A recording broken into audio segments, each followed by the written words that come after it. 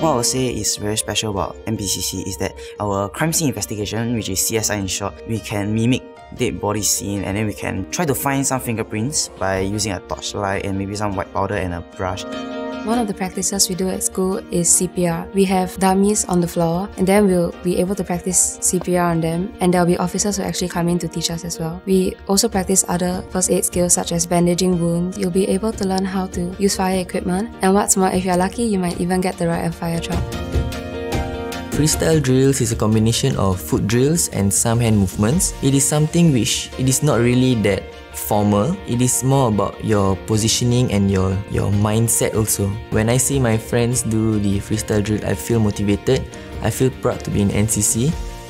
Boys Brigade allows us to acquire more astounding badges as compared to other uniform groups such as kayaking badge and the Christian education badge. We must have discipline in our CCA, we must have a sense of urgency in our CCA, but then at the same time, we must still have fun in our CCA we have actually constructed a Alexa robot that helps to remind elderlies where they might sometimes forget to consume their medicines. We actually learn coding in that sense to help these elderlies with dementia to remind them daily about it. If you are looking to build leadership, discipline, and most importantly, have fun, National Police Cadet Corps is for you.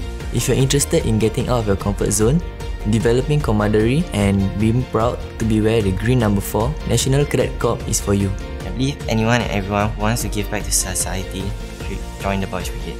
If you're looking for fun, meaningful, and unique experiences, then the National Civil Defence Cadet Corps is for you. If you're looking to create deeper connections, Girls Brigade is the place for you.